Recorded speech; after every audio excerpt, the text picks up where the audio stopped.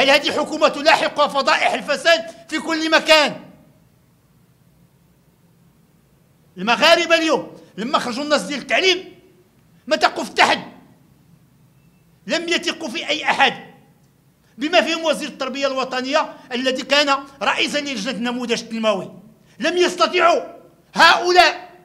لا أحد منهم استطاع أن يقنع رجال ونساء التعليم بالعودة إلى المدارس.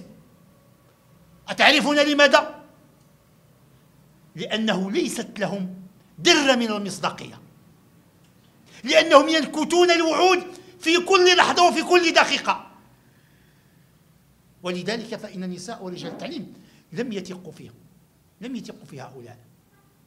إذا هذه الثقة المهزوزة في المؤسسات مصدرها مثل هذه الفضائح والمصائب. أن يصبح الميراوي وزيرا للتعليم العالي وأن يصبح عبد وهبي وزيرا للعدل. هذه قمة آه، الفضائح هذه الحكومة التي تجر وراءها العديد من الفضائح.